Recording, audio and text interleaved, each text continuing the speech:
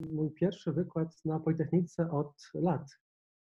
Nastu, więc też nie wiedziałem specjalnie, jak celować, na ile technicznie zrobić ten wykład, a nie taki bardziej ogólny. Gdybyście chcieli coś więcej dowiedzieć się o matematyce pod spodem, po prostu dajcie znać. A jeżeli stwierdzicie, że za dużo jest tych wzorów, to też dajcie znać jakoś łapką albo, albo inaczej. Jeżeli cokolwiek będzie niejasne, pytajcie na czacie lub też przerwajcie mm, przez audio. Obie opcje są na mnie OK. Główna tematyka tego wykładu krąży wokół czegoś takiego pojęcia, takiego pojęcia, które opisuje się obrazowo jako ksai. Widać tutaj czerwone na niebieskim, to może nie jest idealne, ale damy jakoś radę.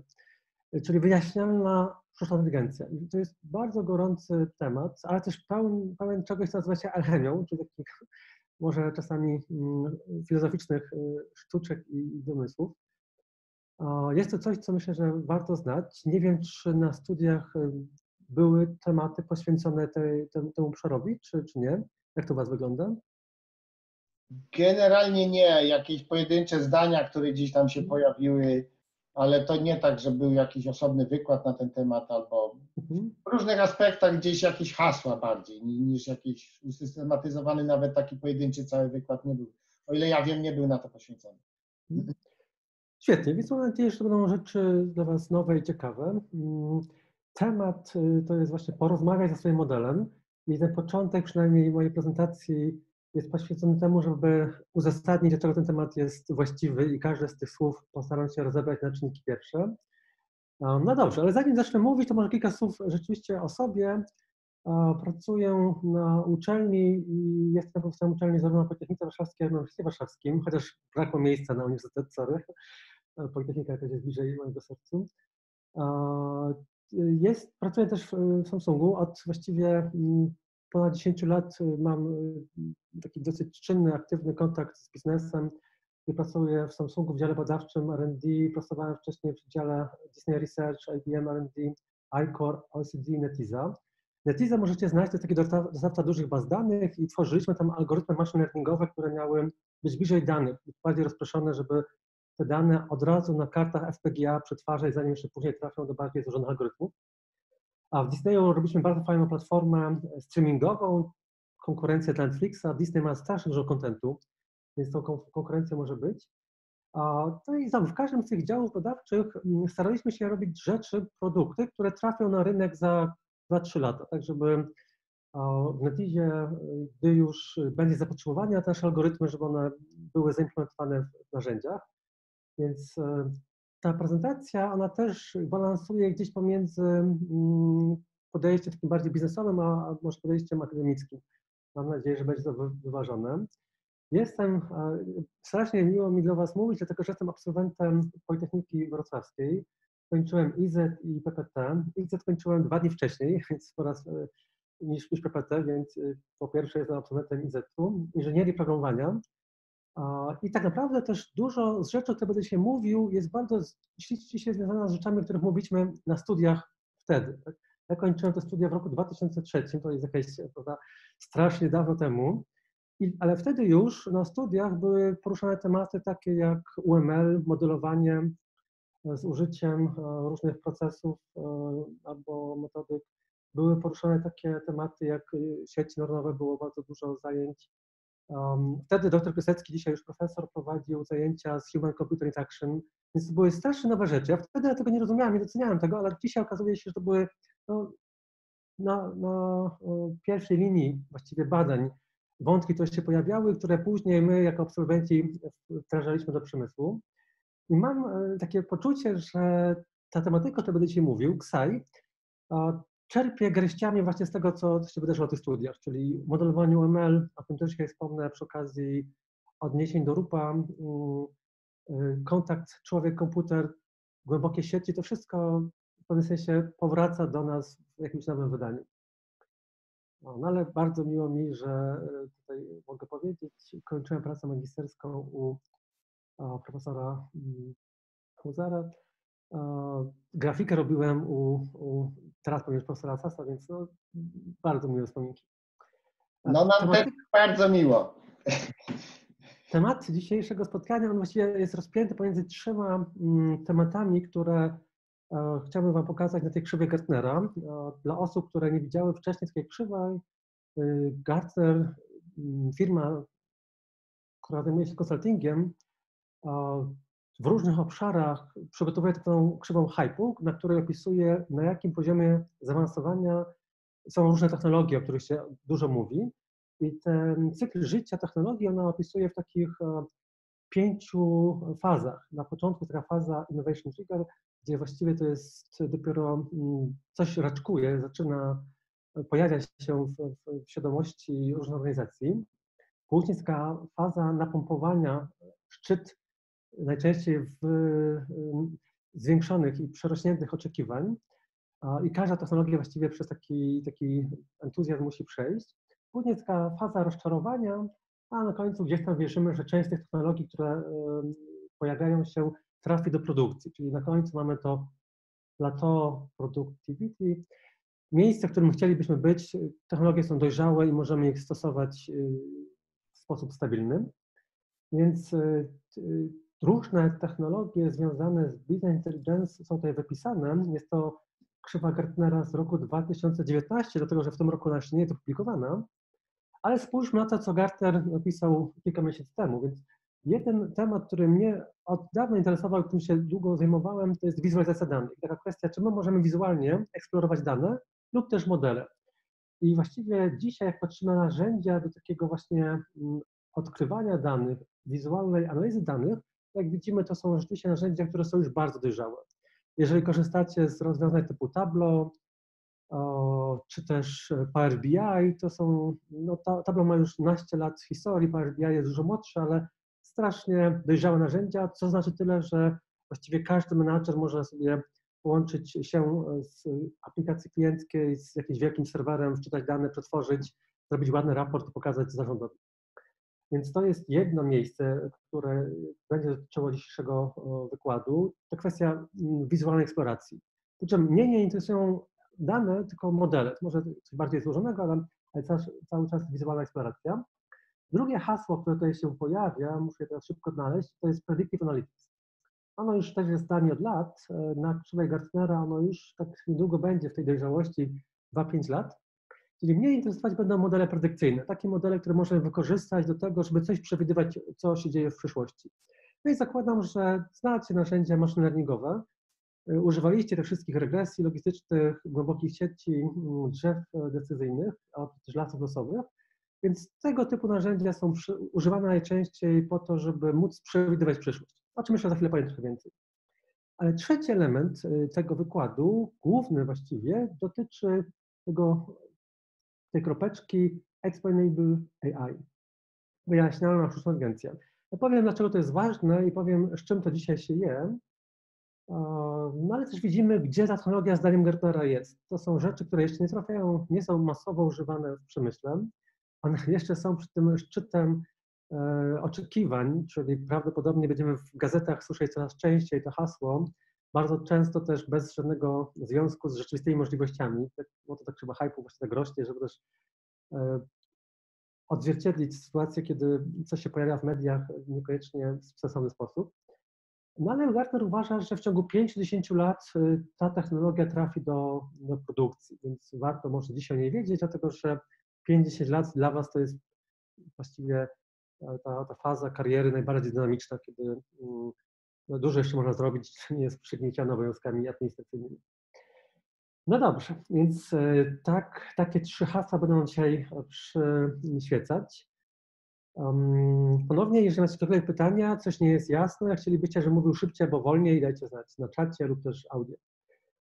Więc e, tytułem takiego nabrania smaku, e, dlaczego my w ogóle musimy o tym mówić? Czy to jest naprawdę ważne? Czy moglibyśmy o tym porozmawiać za dwa do pięciu lat? Gartner napisał, że KSAI będzie ważny za rok, ja uważam, za, za 2 do 5 lat, ja uważam, że będzie ważny jutro, albo nawet od wczoraj jest ważny. Dlaczego? Dlatego, że podstawowe za, założenie wszystkich modeli uczenia maszynowego jest takie, że przyszłość będzie podobna do przeszłości. To może brzmieć dziwnie, ale tak dokładnie jest. Tak my wierzymy w to, że na bazie danych historycznych nauczymy się jakichś reguł i te reguły będziemy mogli stosować w przyszłości, tak do przewidywania jak w przyszłości będzie wyglądała popyt albo podaż, jak ceny energii będą się kształtowały, jak wyglądać będzie, nie wiem, e, predykcja e, ryzyka zachorowania jakąś chorobę. Uczymy się na danych, które mieliśmy w trakcie uczenia modelu po to, żeby przewidzieć przyszłość. No i niby okej, okay, ale e, czy naprawdę jest tak, że to założenie jest spełnione? Tak? Czy, czy, czy my żyjemy w takich czasach, że możemy tak powiedzieć, że tak będzie? No, może rok temu byłbym skłonny stwierdzić, że okej, okay, tak będzie, ale, ale widzimy, że jednak ten rynek się, ten, ten świat się bardzo szybko zmienia w tej chwili.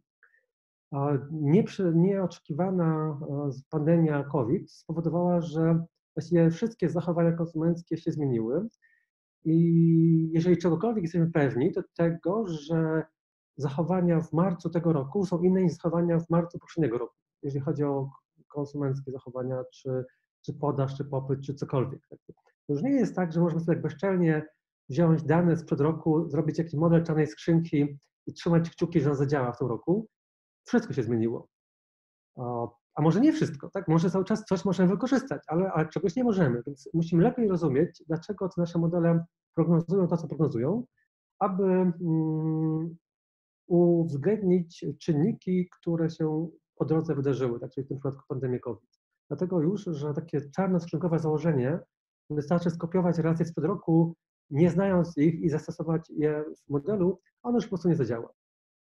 A przykładem tego, że nie zadziała jest COVID. Oczywiście nawet gdyby nie było COVID-u, to i tak byłoby masa powodów, dla których warto stosować e, te narzędzia wyjaśnioności, ale moim zdaniem COVID jest takim game changerem, on wszystko zmieni.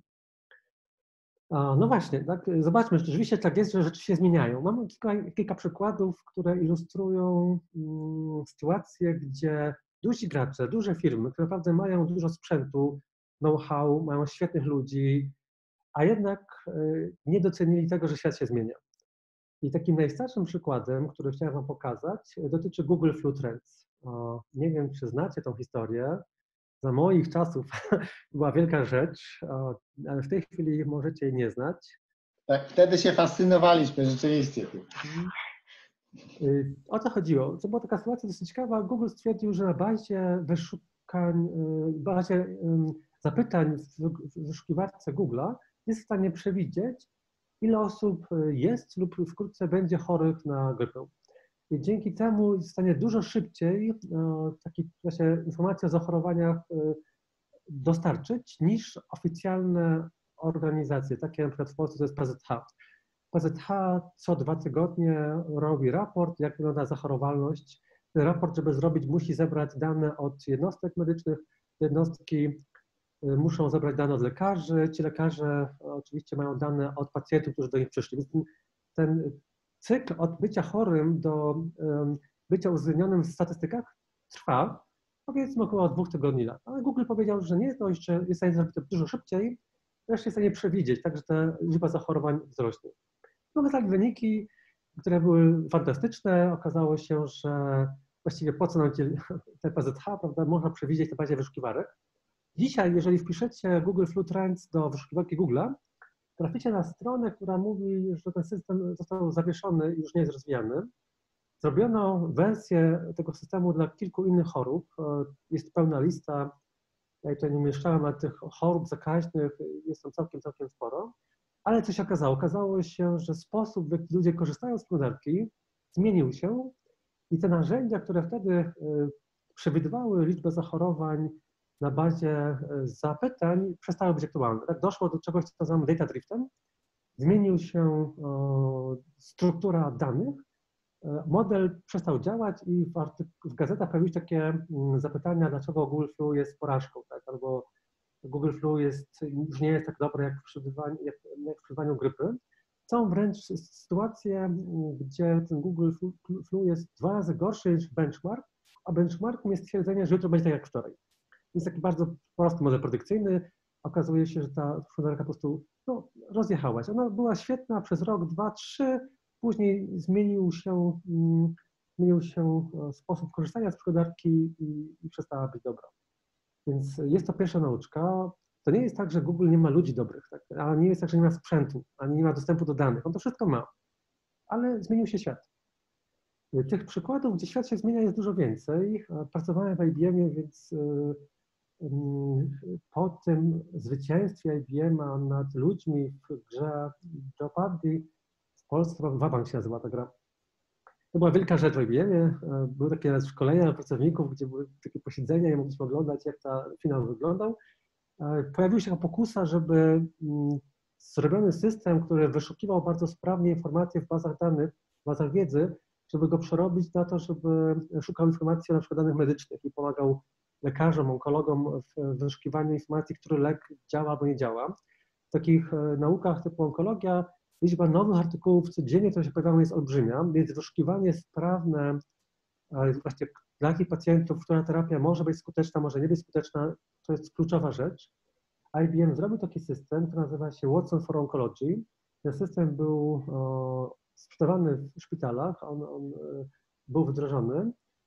O, no właśnie, ale znowu, kolejny przykład. IBM firma, która ma olbrzymi e, potencjał i know-how, i ludzi, i sprzętu, zderzyła się z takim problemem. Tutaj widzimy tytuł jednego z raportów statystycznych opublikowanych w sierpniu, e, w lipcu, przepraszam, 2018. Predykcje są niebezpieczne albo niepoprawne. Nie wiem, co jest gorsze, tak? Czy lepiej, żeby były niebezpieczne, czy niepoprawne. Nie jest dobrze. Dzisiaj IBM, jak słyszy, ktoś może z Państwa jest, jak słyszy tą moją prezentację, to zawsze mówi, że oni mają teraz nowszą wersję i to jest prawda. Zrobili nowszą wersję, która naprawia błędy z przeszłości. Te błędy z przeszłości polegały na tym, że korpus danych uczących nie był dostosowany do użycia. Tak? Nie przewidzieli obszarów, w których będzie używany i przez to te decyzje zdaniem użytkowników były albo zbyt oczywiste i po co nam ten system, albo zbyt nieintuicyjne, takie, że ich nie, no, nikt w nich nie wierzył. Co tego, że system mówi użyj tego, skoro ja w to nie wierzę, ja nie podejmę się, ponieważ na mnie jest odpowiedzialność, na mnie spoczywa odpowiedzialność, nie podejmę się takiego ryzyka. Więc tutaj nie doceniono po pierwsze oczywiście tej kwestii przenoszalności, transferowalności danych, ale po drugie też na styku człowiek-maszyna był problem, dlatego że albo człowiek uważał, że to jest oczywiste, albo, albo niewiarygodne. Czyli nie używał tej decyzji. No dobra, i kolejna firma. Tych firm jest więcej, okazuje się. Jest ta wielka czwórka, mieliśmy IBM, mieliśmy Google'a, to może teraz popastwmy się nad Amazonem. Amazon, firma, która potencjał ma olbrzymi, tak? Ma sprzęt, ma ludzi, inwestuje dużo w AI. Przez trzy lata zespół w Amazonie rozwijał takie narzędzie, które może słyszeliście, ale miało wspierać rekrutację. Czyli miało screeningować CV mm, kandydatów, a następnie służyć jako pierwszą linię preselekcji żeby decydować, które CV warto, żeby człowiek zobaczył, a które CV lepiej wyrzucić do kosza i dalej nie ma sensu, kto, które CV patrzył. Więc tym razem zespół Amazona e, nie wypuścił tego narzędzia na produkcję, bo stwierdził po tych kilku latach pracy, że nie jest w stanie usunąć biasu z tego narzędzia, pewnych obciążeń, a nie jest w stanie, znaczy, znowu, mają dostęp do danych, mają dostęp do sprzętu, do dobrego know-how, a nie są w stanie usunąć tego biasu, który powoduje, że system nauczył się dyskryminować kobiety, a przynajmniej ten bias zidentyfikowali. Może są to jakieś inne obciążenia, ale ich nie zidentyfikowali. Wiecie, w Stanach to jest duża sprawa, bycie posądzonym o to, że się dyskryminuje kobiety. W Polsce też byłaby, gdyby taki system mieliśmy. Okazało się, że to nie jest taka sytuacja, że jak ktoś w CV wpisze, że jest kobietą, to system podbija trzy punkty tak, i, tak to się kończy. Ten system był dużo bardziej perfidny. On się nauczył wykrywać takie słowa jak kapitan żeńskiej drużyny szachowej, żeńskiej, nauczył się wykrywać jako coś, co osłabia szanse na to, żeby być dobrym pracownikiem. Nauczył się rozpoznawać e, szkoły, które są tylko żeńskie. W UK to jest, w Wielkiej Brytanii to jest dosyć popularne, to są żeńskie szkoły. Się nauczył, że to tylko żeńskie szkoły, więc jak ktoś w tej szkole był, to, to ma gorsze szanse na to, żeby być dobrym pracownikiem. Nauczył się też rozpoznawać takie słowa jak executed albo captured, które okazuje się dużo częściej używają mężczyźni, e, młodzi w swoich CV i stwierdził, że jak ktoś użyje słowa executed, to jest prostu specjalistą albo captured, więc to też takie było dosyć zabawne. I tych takich niewielkich obciążeń było tak dużo, że stwierdzono, ok, nie jesteśmy w stanie sobie z tym poradzić. Ten system nauczył się na danych, które są historyczne, dane, które były obciążone, dlatego że prawdopodobnie wcześniej były jakieś preferencje dotyczące mm, płci. Nie wiem, czy widzieliście taki serial Mad Men na Netflixie, tam pięknie widać właśnie tę dyskryminację kobiet na każdym właściwie etapie e, funkcjonowania e, korporacji. A więc te dane historyczne system nauczył się czegoś, co dzisiaj uznajemy za no, nieetyczne albo przynajmniej niepoprawne. wyrzucony do kosza. Takich przykładów jest więcej. To jest taki świetny obrazek. Y, mam nadzieję, że go widzieliście, bo jego trzeba pamiętać. Za moich czasów była taka historia, że sieć neuronowa się nauczyła rozpoznawać czołgi przeciwnika i wroga na bazie tego, czy zdjęcie było w ciągu dnia, czy w ciągu nocy, dlatego że dane były zbilansowane.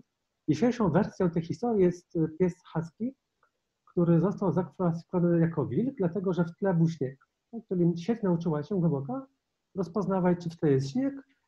Taka straszna sceneria typu mm, właśnie zima, las, śnieg kojarzy nam się z czymś strasznym, więc gdy ludzie robią zdjęcia, to dużo częściej na tle śniegu mamy wilki, a na tle pięknego stadionu z zielonej trawki mamy psychaski, więc sieć poszła na skróty, się nauczyła rozpoznawać tło, żeby podjąć decyzję, a nie kolor oczu, tak? No bo każda hodowla husky wie, że husky ma niebieskie oczy, a wilk nie. Ale, ale sieć tego jakoś nie odgadła. Więc y, znowu, czasami te systemy są skuteczne, chociaż używają złych cech, których w sobie nie chcielibyśmy wykorzystać. I to, to nie jest fajne. Więc tych przykładów jest strasznie dużo. I co zaczęło być ryzykiem y, w zastosowaniach? I z tym ryzykiem trzeba sobie jakoś poradzić. Dlatego pierwszą organizacją, która potraktowała ten temat poważnie, jest DARPA. DARPA na pewno znacie, to jest Agencja Obronności w Stanach Zjednoczonych, a znacie ją z ich projektu ARPANET. ARPANET, czyli początek internetu. Gdyby nie ARPANET, nie byłoby internetu, więc DARPA zajmuje się poważnymi rzeczami. Jedną z tych poważnych rzeczy to właśnie jest Explainable AI, czyli wyjaśnialna, wyjaśnialna machine learning albo sztuczna inteligencja. Ja będę dzisiaj tych terminów za, używał zamiennie. E, ta organizacja uruchomiła mm, zestaw właściwie grantów, e, który finansuje pracę w 16 uczelniach w Stanach Zjednoczonych nad różnymi obszarami, y, takimi jak właśnie transport, finanse, kwestie prawne, bezpieczeństwo, medycyna, obronność i finansuje badania związane z wyjaśnialnością. Także oczywiste jest, że te narzędzia, te obszary będą zmienione przez y, machine learning czy też sztuczną inteligencję, to jest oczywiste, ale też oczywiste jest, że ważne jest, żeby w tych obszarach ten machine learning był wiarygodny. Temat wiarygodności to jest naprawdę duża sprawa czego mm, przykładem właśnie jest y, zaangażowanie dużych środków finansowych w badania nad, nad tymi mm, tematami. Te programy grantowe rozpoczęły się dwa lata temu, y, zakończą się za dwa lata, więc dzisiaj już pojawiają się pierwsze owoce i na wielu konferencjach, dużych konferencjach typu NIPSI, CML widzimy świetne artykuły generowane przez te uczelnie. Mm, są specjalne y, wydania, dużych czasopis, dobrych czasopism w tej tematyce. No, naprawdę jest to coś, co się teraz dzieje i warto się tym zainteresować poważnie.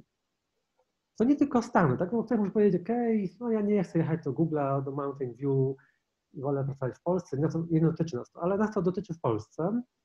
E, już rok temu e, okazało się, że jest taka organizacja, fundacja Panoptykon, może znacie ją, ona walczy głównie o takie tematy związane z ochroną prawa mm, jednostki, ale też właśnie cyfrowym wykluczeniem albo kwestią dostępności danych. Jest to taka dosyć duża, prężna organizacja.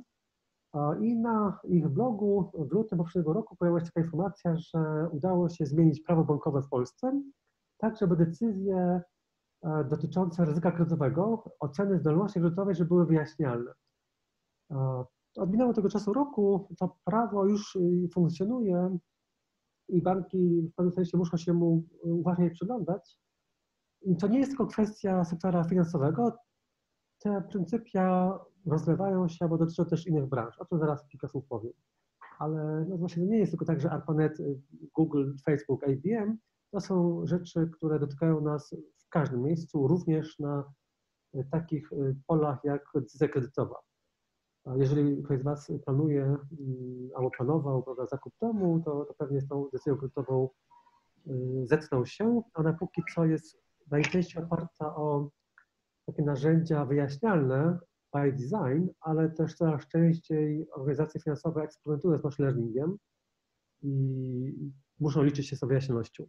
Słyszałem y, kogoś na y, czacie. Czy ktoś chciałby skomentować coś, dodać coś od siebie, zapytać? Proszę. Mhm. Ja, ja, bym tylko uzupełnił, y, dopowiedział może, że akurat ta wyjaśnialność, jeżeli chodzi o kwestie kredytowe w Stanach Zjednoczonych już istnieje od wielu lat. prawnie. Także banki muszą uzasadnić, dlaczego ja nie dostałem kredytu, po to, żebym ja jako obywatel czy klient banku wiedział, co mam zrobić, żeby owy kredyt dostać. Dzięki temu ja wiem, co mam uczynić. Tak, muszę więcej zarobić albo nie wiem. Tak. Tutaj widzę na czacie jeszcze takie pytanie, czy mogą używać tylko regresji liniowej i logistycznej? Świetne pytanie. Banki z różnych powodów e, zaczynają tych narzędzi i okazuje się, o czym taką um, orędowniczką tego podejścia jest Cynthia Rudin, badaczka z, z zapomniałem, czy z Duke'a, czy z innego uczelni, z jakiejś uczelni w Stanach, która uważa, że bardzo często używając takich modeli regresja liniowa logistyczna, przy odpowiedniej inżynierii cech jestem w stanie mieć wyniki lepsze niż nawet czarne skrzynki. I ona mówi, dlaczego banki używają czarnych skrzynek, chociaż nie musiałyby. To jest bardzo fajne, ponieważ mogę też e, kontrolować IP. Jeżeli ja używam złożonego modelu, mi dużo łatwiej kontrolować własność interpretualną niż w przypadku prostej karty scaringowej, którą możesz sobie skopiować i nikt nie, nie zabroni używać. Więc y, dla, y, też taki mamy eksperyment, który później pokażę. Mieliśmy bardzo fajny projekt robiony wspólnie z dużą instytucją finansową w Polsce, która miała miliony y, danych, punktów z danymi. I okazuje się, że takich danych, mm, powiedzmy, statycznych, które uwzględniają stan aplikacji, to rzeczywiście regresja logistyczna jest w stanie daleko zajść i możemy zrobić dobry model, równie dobry jak te AutoML dzisiejsze. Ale już, gdy chcemy użyć takich nieoczywistych y, danych, na przykład zachowania behawioralne, które się bardzo trudno przekładają na dane tabularyczne, to tutaj bardziej elastyczne narzędzia, takie jak głębokie sieci, LSTM, czy też jakieś bardziej wyrafinowane narzędzia typu właśnie boosting, bugging, one już mogą nam dać jakąś wartość, a nawet zysk AUC o 2% przekłada się na no, miliony y, złotówek. To jest śmieszne, bo dla banku zawsze to jest ryzyko, prawda, zmiana systemu screeningów, zysk y, o 2% to jest y milionów, no i można sobie w ten sposób porównywać tego, tego typu zmiany.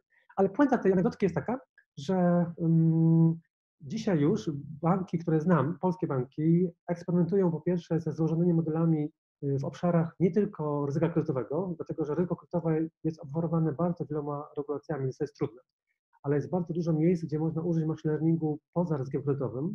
Na przykład przy pricingu jest dużo łatwiejsze, ale nawet w ryzyku kredytowym y, też są badania robione nad tym, jak wykorzystać takie głębokie uczenie albo machine learning do mm, efektywniejszych modeli. No właśnie kwestia wyjaśnialności jest, jest naprawdę ważna.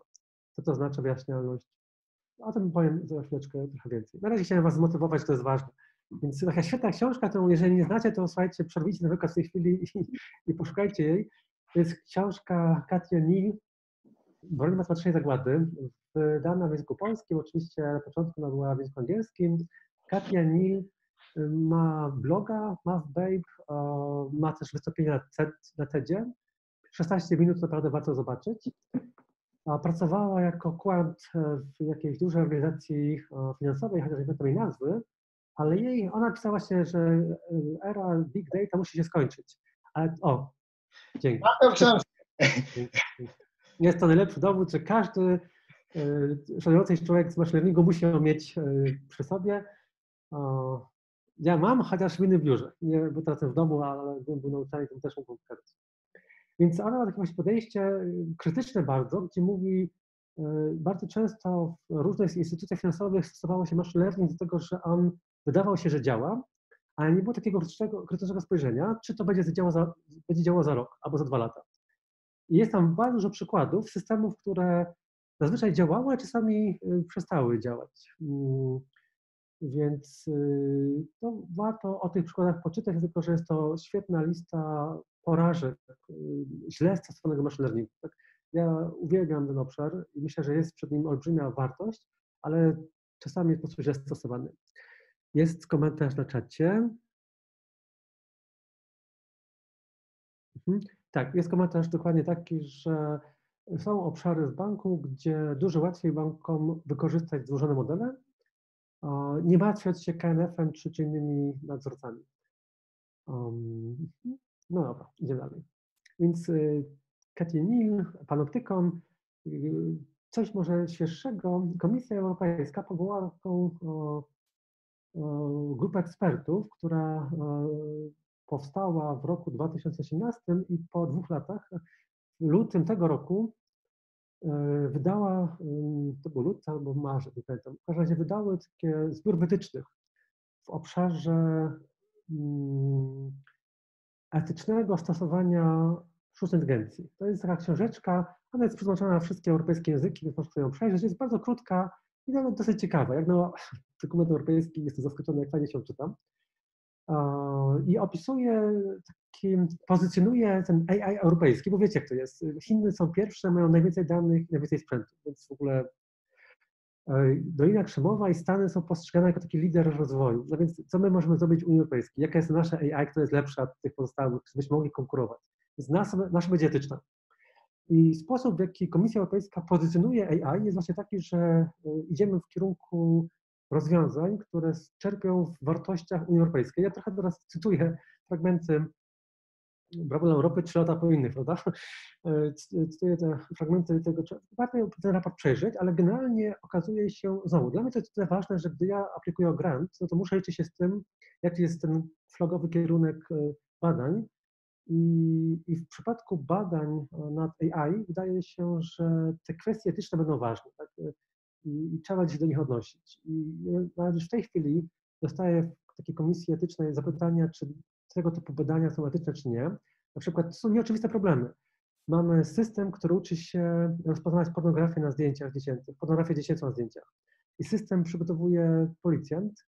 Wszystkie dane będą um, skodowane wyłącznie w komisariacie policji.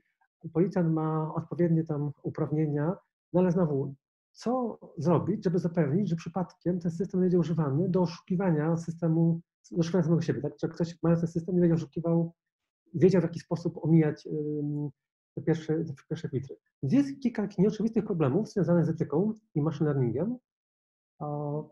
No tak, warto tą regulację przejrzeć. Z jednej strony, gdy się rozmawia z firmami, to one się czasami boją tego, że są nowe regulacje. Taki, ok, robiliśmy nasz biznes, dobrze nam szło, Unia Europejska coś znowu zamyśliła i będzie nam trudniej. I tak może być. To jest najczęściej komentarz dyrektorów banków, z którymi rozmawiam, że kurczę, jakby to zrobić najtańszym kosztem, żeby naprawdę się nie przyjmować.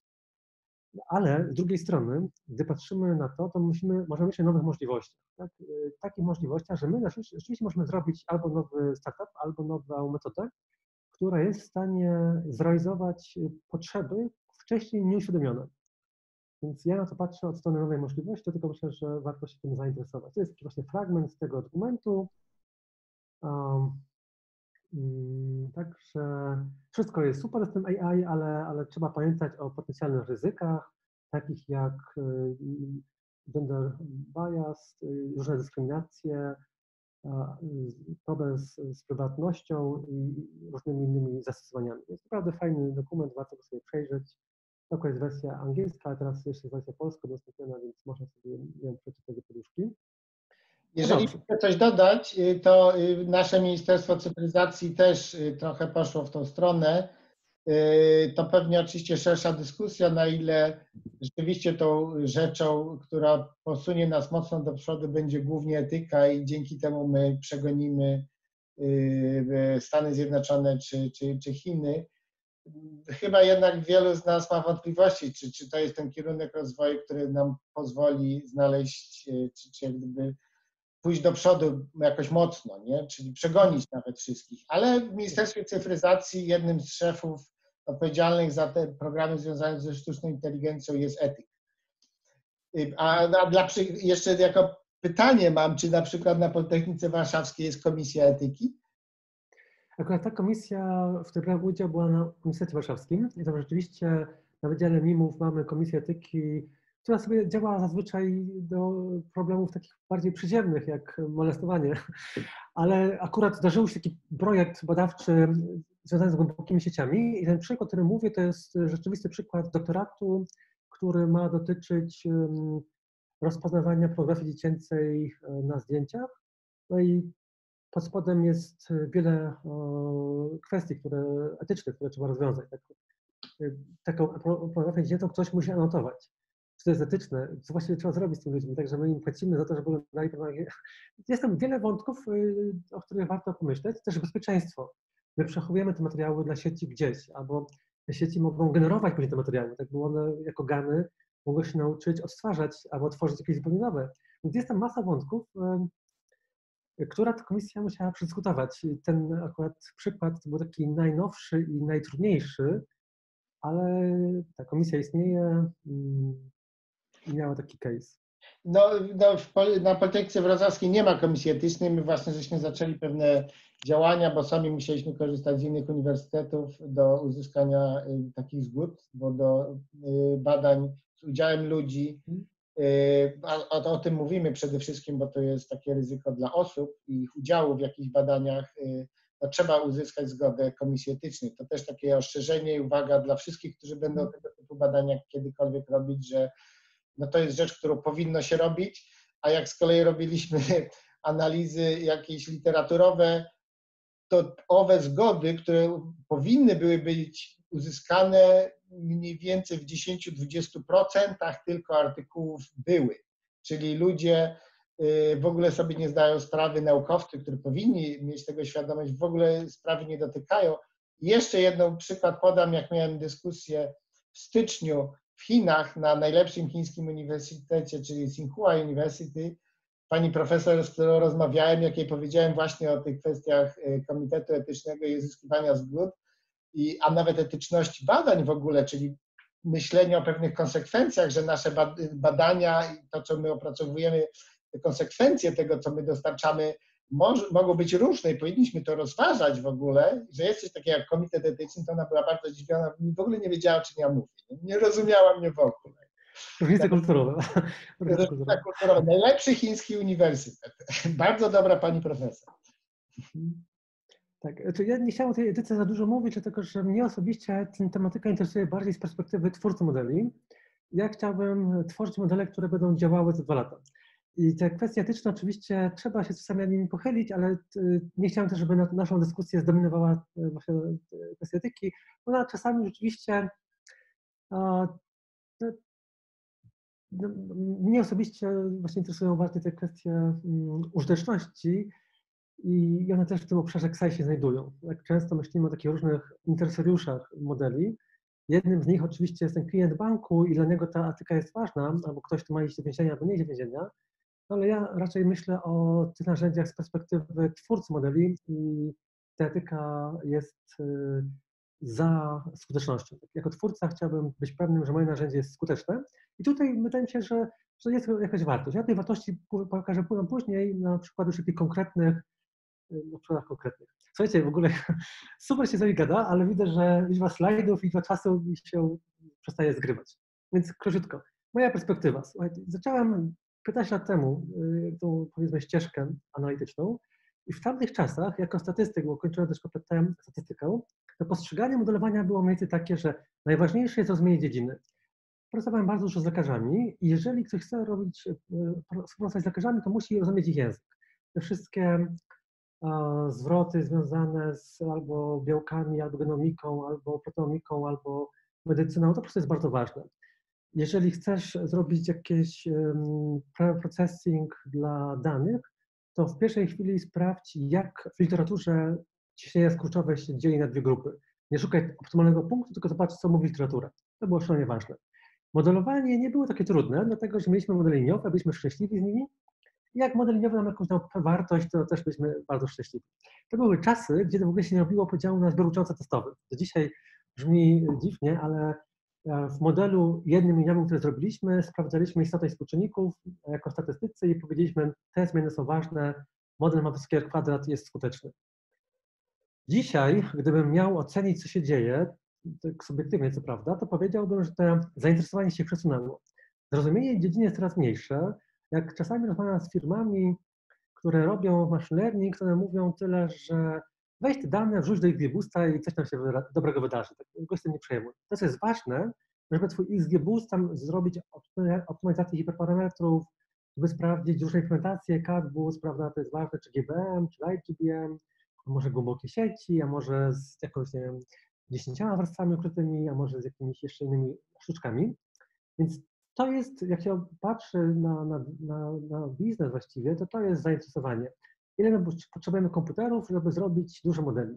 A jak będziemy mieć dużo modeli, gdybyśmy umieli dobrze je ocenić, już trochę ważniejsza jest ten, ten, ta ocena. Gdybyśmy to chwilę dobrze ocenić, wystarczy zrobić je dużo i wybrać najlepszy. O, no właśnie, słuchajcie, to było wczoraj, to, było, to jest dzisiaj, to będzie jutro. Więc wydaje mi się, nie jestem oczywiście obiektywny, ale, ale wydaje mi się, że ten trend będzie następujący.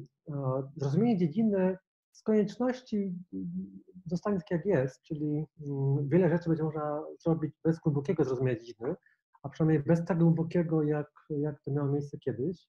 Nie trzeba będzie mieć 20 lat doświadczenia w analizie danych medycznych, żeby analizować dane medyczne. Niestety albo niestety, no ale jakby tak jak są trendy. Optymalizacja, wydaje mi się, że coraz mniej to będzie ważne, dlatego że mamy coraz więcej frameworków AutoML-owych, gdzie wiele rzeczy możemy się nauczyć na starych danych, czyli cały ten transfer learning, meta learning, wszystkie te techniki mm, AutoML, które powodują, że to już nie muszę patrzeć te wszystkie modele, te dashboardy, to się dzieje samo. A to, co zaczęło być ważne, to rzeczywiście ta kwestia oceny modelu, czy model jest dobry. I w tej ocenie pojawiają się nowe składniki, już nie tylko właśnie czy AUC jest duże na zbiorze testowym, ale czy AUC będzie duże za dwa lata, lub też właśnie czy ten model jest wyjaśnialny, czy rozumiem ten model, czy on jest sprawiedliwy, co może w niektórych przypadkach mieć znaczenie. No i te kwestie etyczne, o których będę dużo mówił, bo i tak mówić pani za dużo. Więc y, to jest obszar, który myślę, że y, no, zyskuje jakieś zainteresowanie. Mm, wiadomo, że prognozowanie przyszłości jest trudne w przód, y, więc nie wiadomo jak będzie, ale, ale moja prezentacja idzie w tym duchu, że po prostu warto o tym posłuchać i się tym zainteresować. Ok, więc wróćmy do naszej czasy filozofów. Tak, ja generalnie mam sobie trochę filozofa, więc mi to nie przeszkadza. Wróćmy do naszej prezentacji. Tytuł to jest Talk with Your Model cztery słowa i będę chciał teraz każde słowo uzasadnić właściwie o czym będę mówił. Więc zacznijmy tego model. Dlatego, że słowo model znaczy niesamowicie dużo rzeczy dla różnych y, odbiorców. Ja pracuję dużo z biologami i dla nich model to jest model komórki. Jestem niesamowicie czasami zaskoczony, gdy rozmawiam z, właśnie z psychologami albo z etykami. Jak do nich mówię model, to oni w pierwszej chwili myślą o modelu samochodu, albo prawda, jakichś modelce czy, czy modelach. Y, rzadko myślę o modelu lotki Woltery, czyli różnienia szyczkowych. Rzadko myślę o takich modelach typu właśnie BMI, czyli model oceniający nadwagę. Rzadko myślę o głębokich sieciach, mm, ale żadna z tych rzeczy to nie jest to, o czym ja będę chciał mówić, gdy będę mówił o modelu. Dlatego, że te rzeczy są strasznie ulotne. To, co dla mnie jest y, istotne, gdy mówię o modelu, to chciałbym myśleć o, o funkcji, takiej czysto matematycznej funkcji. Tak? Jest, nie obchodzi mnie specjalnie, czy pod spodem jest głęboka sieć, czy drzewo, czy cokolwiek innego, czy, czy człowiek sobie siedzi. Model to jest funkcja, która bierze jakieś dane, przestrzeni jakieś RP i te dane przekształca na, mm, na liczbę. I to jest predykcja. Tu mamy tu f od x, to jest ta predykcja. I właściwie to, co najczęściej modulujemy, to jest wartość wyczekiwana jakiejś interesującej nas wartości, ceny mieszkania, szansy przeżycia czegoś innego. Czasami to oczywiście nie jest wartość oczekiwana, tylko jakieś kwanty, rozkład bez różnicy, no ale w uproszczeniu mogę myśleć o takiej wartości oczekiwanej. Dla mnie to jest funkcja. Teraz taką funkcję jak mam, to zrozumieć model znaczy dla mnie tyle, że zrozumieć, jak ta funkcja się zachowuje. Jeżeli ona jest liniowa i ma tylko dwie zmienne, to to jest proste. Jeżeli jest funkcja liniowa, ale ma 100 zmiennych, to już nie jest proste. I to taka pułapka, ktoś uważa, że to jest prosta. Ona jest prosta, jak są trzy zmienne. Jak jest 200, to tradycja logistyczna nie jest wcale prosta. Drzewa decyzyjne są proste, jak mają trzy węzły, 10 węzłów. Jak mają 30, to już nikt tych drzew nie rozumie. Więc ta funkcja, jaka ona jest, właśnie chciałbym ją zrozumieć. Takie podejścia, które stosuje się teraz w literaturze, takie typowe podejścia do zrozumienia tej funkcji, one są następujące. Kilka słów powiem o nich więcej, ale na razie za, za, zadać chciałbym otoczenie.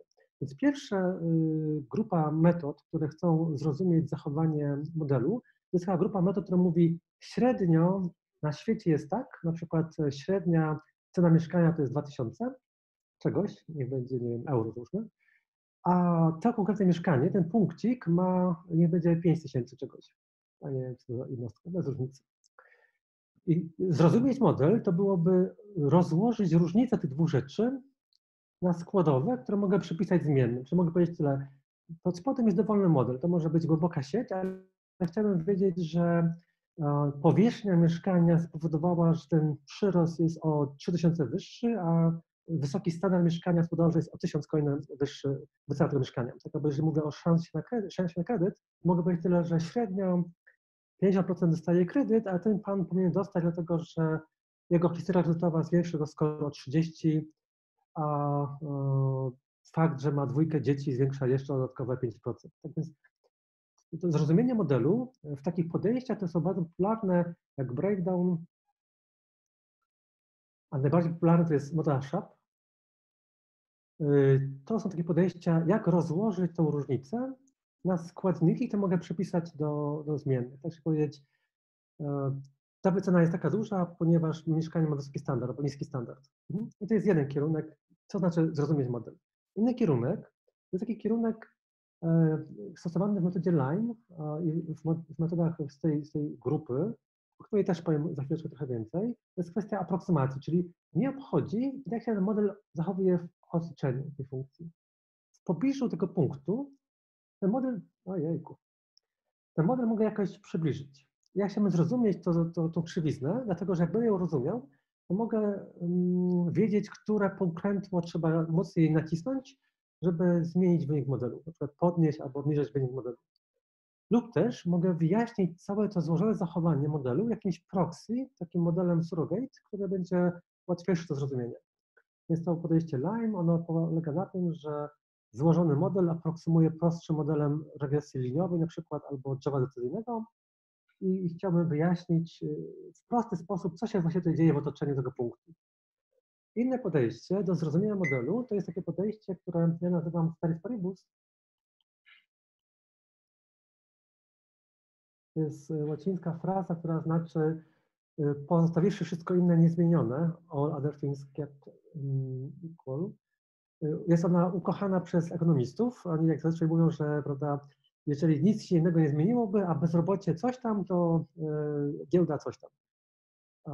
Tak jest analiza składowych pojedynczych, czy gdybym w tym mieszkaniu na przykład podniósł liczbę, załóżmy, nie wiem, mm, co to mogę w mieszkaniu podnieść, liczbę nowych okien, tak, albo, albo jakoś standard mieszkania na skali, skali ciągłej, czy jak wycena tego mieszkania by się zmieniła na skali ciągłej, tak, albo gdyby dochody tego człowieka zmieniały się, pozostawiwszy wszystkie inne bez zmiany, jakby jego mm, szanse na kredyt też zmieniały się.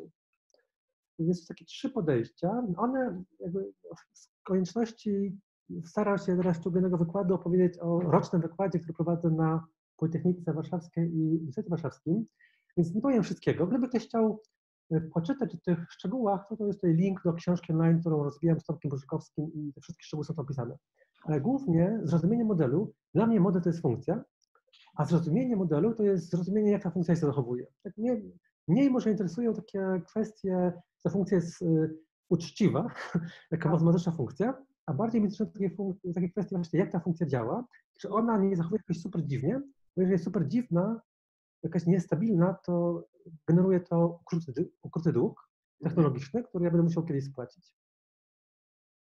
Okay. No dobra.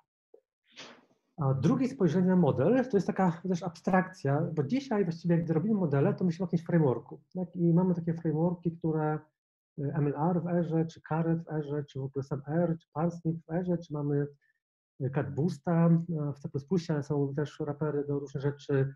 H2O ma swój własny system modelowania napisany w Javie.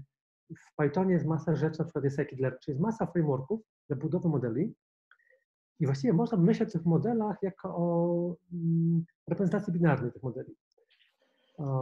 I to też jest w pewnym sensie y, sensowne, dlatego że mówiąc o zarządzaniu modeli, ja muszę, jestem na przykład dużą firmą, byłem na rok temu w mm, Walmartie w Kalifornii i oni mają ten problem, że robią dziennie setkę modeli maszyn learningowych. Dziennie, tak więc oni muszą tymi modelami zarządzać, a zarządzać funkcjami jest trudno, więc mogą zarządzać binarnymi reprezentacjami tych modeli. Ale jeżeli mają setkę modeli stworzonych przez, nie wiem, kilkudziesięciu analityków, z których oni korzystają z różnych narzędzi, to, to rodzi różne wyzwania. I właśnie jesteśmy w takim śmiesznym oczywiście czasie, że powstają nowe frameworki. Każdy z tych frameworków mówi, OK, jest bałagan, dlatego że jest 10 różnych frameworków o różnych implementacjach. Stwórzmy jeden framework, który będzie wszystko ujednolicał i powstaje, jak w tym komiksie XKCD, jeżeli ktoś nie czytał komiksu, to się bardzo polecam, powstaje kolejny framework. Tak więc te wszystkie właśnie narzędzia typu scikit-learn, MLR, Caret, Tidy Models, one powstają z taką nadzieją, my to teraz posprzątamy ten świat. I dzięki temu ten świat będzie posprzątany i on będzie wreszcie w jednolity sposób będę mógł zarządzać modelami. No ale sytuacja jest taka, że cały czas różne etycy korzystają z różnych narzędzi, te modele są pod spodem bardzo różne, więc to, czego potrzebujemy, ja też w dalszej części tego referatu mam nadzieję, że zdążę więcej o tym powiedzieć, to jest taki adapter, który będzie nam trochę abstrahował od tego, jak model w środku wygląda. Czyli ja pod spodem mogę mieć głęboką sieć, cokolwiek, ale potrzebuję adaptera, który mi stworzy jednolity API y, dostępu do modelu. Taki API, które będę mógł odpytywać, nie będę musiał się troszczyć o to, czy Random Forest zwraca mi dla problemu multiclass dane w kolumnach, czy w wierszach w postaci long czy white. Tak? Czy nie muszę się martwić o to, czy um, CatBoost domyślnie zwraca mi klasy modeli, czy prawdopodobieństwo wystawiania tych klas. Kończył Politechnikę, ale jest teraz... Przemku, słyszycie. Tak więc mówię o modelach dalej, będę myślał o funkcji, a będę myślał też o takim opakowaniu, adapterze, który abstrahuje mi zupełnie od struktury tego modelu. Ja nie chcę nic wiedzieć o tym, czy potrzebne są drzewa, czy funkcje. Ja chcę mieć e, pewien, pewną abstrakcję. I ta abstrakcja dalej będzie dla mnie istotna. Wszystkie narzędzia, które będę mówił, są z grupy tak zwanej model agnostic, czyli narzędzia, które pozwalają nam na analizę modeli niezależnie od ich struktury. Dlatego, że dla konkretnych modeli typu drzewo, las losowy są świetne narzędzia, które działają tylko dla tych modeli, ale okazuje się, że tych możliwych struktur jest za dużo i znacznie bardziej pożądane są narzędzia model agnostic, które mogą te wszystkie modele analizować bez względu na to, jaka jest wewnętrzna reprezentacja modelu. Jest tylko jednolity interfejs, interfejs to jest interfejs predict, tak, od, pytania funkcji. Ok, powiedzieliśmy sobie, co to jest model. Mam nadzieję, że tutaj macie już to samo wyobrażenie, czym jest model, co ja. Czyli to nie jest model od kilowoltery, to nie jest prawda, model samochodu, to jest implementacja i um, taka, taka abstrakcja modelu. Jeszcze skupmy się na słówku YOLO. Co to w ogóle znaczy YOLO? Nie wiem, czy macie takie przekonanie, przekonanie, że jest jakaś przynależność modelu. Tak, czy jeżeli jest model, to może być mój albo twój, czy to jest w ogóle ważne. Y, gdy mamy taki model BNI prawda, dla otyłości, to właściwie nikt nie myśli o tym, że to jest model Tomka, takiego model Przemka. To jest po prostu model BNI. Ale jak jesteśmy w firmie, to bardzo często jednak ten problem, który mamy, jest taki, że za każdym modelem jest twórca, który podejmował decyzję i te decyzje zapisał albo nie zapisał i one na ten model wpływają, tak one umożliwiają śledzenie tego modelu. Więc w obszarze właśnie pamiętania o tym, że te funkcje są zbudowane przez kogoś, e, chciałbym Wam polecić taki mm, artykuł, który Google wypuścił kilka miesięcy temu, a na bazie tego artykułu zrobił już bardzo fajną stronę, Model Cards. Model Cards to jest taka filozofia opisu modelu, która powie, co o modelu musimy wiedzieć, żeby go sensownie używać. Tak? Czyli po pierwsze oczywiście, kto jest twórcą, ale też do jakich celów ten model był stworzony. Jeżeli ktoś stworzył model do celu na przykład detekcji twarzy na zdjęciach liczących liczbę osób, to być może ten model nie powinien być stosowany na przykład w zastosowaniach militarnych, bo jego skuteczność za mała, bo za duża. Więc tutaj właśnie pojawia się taka sytuacja, że model już nie jest jakąś abstrakcją, funkcją, ale on też ma twórcę. Tak? I ten twórca decyduje, do czego mogę model użyć, czego nie mogę model użyć. Ponownie, gdzie ja się odwoływałbym do doświadczenia ze studiów magisterskich, było bardzo dużo mowy o metodykach wytwarzania programowania i czerpaliśmy garściami, a raczej ci, co to robili, bo ja byłem wtedy studentem, czerpali garściami z, z budownictwa. Tak? W budownictwie, żeby budynki działały, wypracowano różne metodyki, jak robić budynki stabilne. Córka. A dzisiaj też tworząc modele, okazuje się, że bardzo często czerpiemy z innych regulacji, i w tym artykule Google'a oni analizują właśnie regulacje w budownictwie, analizują też regulacje, które istnieją na rynku finansowym, na rynku medycznym. Na rynku medycznym, na przykład jak jest urządzenie medyczne, to żeby je dopuścić do użycia, musimy powiedzieć, do czego ono jest używalne, do czego nie jest używalne. Nie mogę mieć urządzenia do wszystkiego, ja muszę powiedzieć, do czego to urządzenie może być użyte bezpiecznie. I te regulacje właśnie z rynku takiego jak finansowy, medyczny, budownictwo, mm, inżynieria programowania, my te doświadczenia możemy przenieść na grunt modelarski. I Google trochę to zrobiło. Opracowało coś, co nazywa się model cards, czyli taka lista rzeczy, które powinny być dla modelu określone, żeby on był bezpiecznie używany. Tak? Czyli skuteczność na różnych zbiorach danych, ale też właśnie określenia o tym, jakie były podjęte wybory, co, na co postawiono, z czego zrezygnowano. I też jakieś inne rzeczy, na ograniczenia, tak, gdzie można stosować, gdzie można stosować takiego, ten model. Więc tu mamy taką bardzo silną część związaną z przynależnością. Ja to może slajd, przepraszam Was bardzo, ale pominę site cloud, czasu braknie, a chciałem powiedzieć o, o, innym słowie z tytułu. Tak, czyli mówiliśmy sobie o, o przynależności, mówiliśmy sobie modelu. I teraz jeszcze pierwsze słowo, talk, jest bardzo ważne. E, dwa lata temu miałem taki referat na konferencji ERUM, e, nazywał się Pokaż mi swój model, show me your model. I chodziło o to, żeby model pokazać graficznie. I to myślenie, które było wtedy, było takie, że jak mam model, żeby go zrozumieć, muszę go pokazać.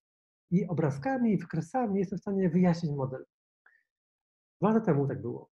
Ale dzisiaj wydaje mi się, że lepszym słowem nie jest wcale show, tylko jest talk, dlatego że ja muszę mieć pewną interaktywność związaną z modelem. Znowu, analogia. Kwartet Anscomba. Mam nadzieję, że znacie. Tak, statystycy kochają Anscomb, kuzyn Tukey'a, Tukey, twórca statystyki współczesnej, pokazał, że nie wystarczy nam pokazać proste statystyki liczbowe, takie jak średnie albo współczynnik regresyjniowej, dlatego że pod spodem dane mogą kryć dużo bardziej złożone historie. Takim kwadrat Anscomba to są cztery zbiory danych, które mają takie same identyczne statystyki, czyli jak powiedzmy sobie średnią w X, średnią w Y, wariancję w Y, wariancję w X, współczynniki regresji liniowej, Y, na siłę pamiętam, to jest chyba, skodujmy, 0,5x plus 2,5, może zgadłem, coś takiego. Patrzę te współczynniki, te wszystkie historie są takie same, ale one pod spodem są różne, więc y, potrzebujemy narzędzi, którymi możemy wejść w interakcję z modelami, tak żeby odkryć tą różnicę pomiędzy danymi. Nie tylko patrzymy na AUC F1. My teraz kochamy te miary typu właśnie F1, tych różnych współczynników opartych o tabelkę false positive, false negative jest masa. Ale one wszystkie są tylko liczbowymi o, streszczeniami czterech wartości, tak false positive, false negative i tak dalej. I one są bardzo uproszczonym widokiem modelu. Pod spodem ten model ma masę rzeczy związanych z resztami, które, których nie możemy przeoczyć. Więc trochę wzorując się na tym, co zrobił Anscombe kilkadziesiąt lat temu, to była taka historia bardzo śmieszna, dlatego że to były czasy, kiedy badacze uważali, że wszystko można zrobić z regresją liniową. Wreszcie mamy narzędzie już takie dopracowane, które jak wdrożymy na produkcję, to nam wszystkie zależności złapie. No a pokazał, słuchajcie, cztery danych po 10 punktów każdy. Tak, mogę wziąć pieniążki na truskawki? Możesz. Nie teraz, błagam cię. Ale tak, to my idziemy już na Przepraszam was bardzo.